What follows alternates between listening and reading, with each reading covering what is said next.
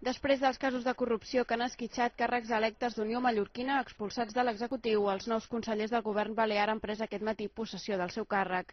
El president Francesc Antic ha situat finalment Joana Barceló al capdavant de la Conselleria de Turisme, Gabriel Vicenç a la Conselleria de Medi Ambient i Mobilitat i Pere Aguiló assumirà la Conselleria de Treball i Formació. Supos que serà de les conselleries en què més se visualitzarà.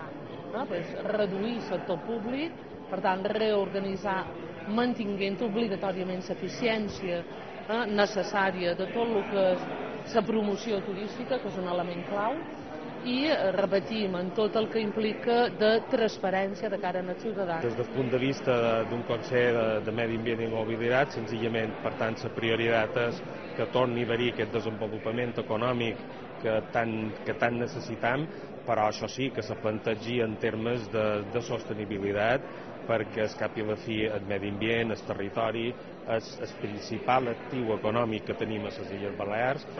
En la perspectiva de fer un treball eh, que nesqui del consens i desplegar-lo conjuntament amb les organitzacions sindicals i empresarials d'aquesta comunitat autònoma i poder afrontar el problema de l'atur des de bases eh, que, que siguin producte d'aquest consens. Francesc Antic ha explicat que de moment descarta una qüestió de confiança. Som conscient de les dificultats de tot plegat. Governar minoria demanarà un sobreesforç d'escoltar a tothom. Però avançar eleccions crearia més desconfiança dins els sectors i la ciutadania. I no hi ha cap majoria estable que pugui oferir més que aquest govern. Els sis membres d'Unió Mallorquina acusats de corrupció en l'anomenada Operació Voltor van passar dissabte a disposició judicial.